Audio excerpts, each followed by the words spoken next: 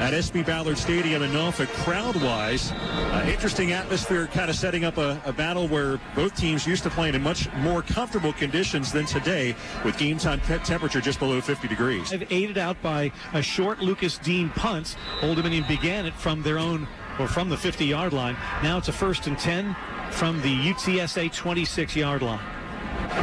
In fact, they are dead last in the conference in stopping the run, and they're third in the conference in stopping the pass. Second down and five for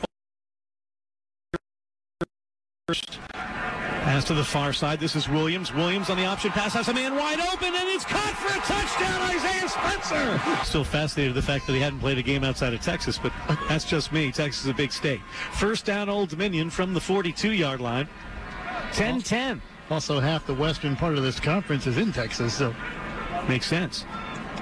Bring Hendrick in motion, play action pass. Hayden Wolff steps up another throw. Um, plays, from, from behind, behind, but he got, got through that. that. Second, Second and goal. Ball's on, on the one. This is where Narcisse can kill you with his legs because you got to count for him. You got to play 12-man football in this area.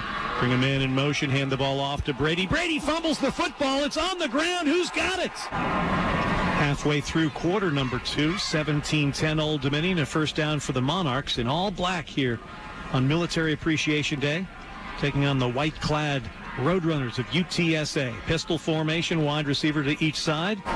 They averaged 237 on the season for, for the, the game. game. Still have 6.18 to go until halftime. Third down and six. Need to get the ball to 26. First and 10. Like it right now. About 20 degrees warmer over there still have some want and desire against a three and five team that wants to stay bowl eligible. Crowd is not happy. They just saw the replay and they didn't like whatever Monka did. So it's bombs away here. Look for hook and ladder or something maybe too.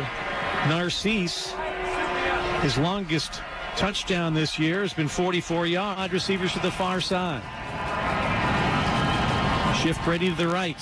Narcisse looking, still looking, running into trouble. There's Derek Wilder, and he'll go down with a jacked up sack. The 42 yard line. What a play. Derek Wilder, Keon White and company. That was an, their opening night 24 21 win over Norfolk State. It's in August. It felt like last year. Third down and eight. Wolff to throw. Comes near side towards Savage. And he makes the catch under duress. Oh, my. That was a wrestling match. Flag on the play. That crew working for that one. What was the other major stat that you, you picked up? 23-17. Coming near side, wide open is Strong, makes the catch at the 39, out across the 40 to the 41 for a first down. 3-17 Old Dominion. Handoff McCormick, and his second effort moves the chains at the Monarch 47.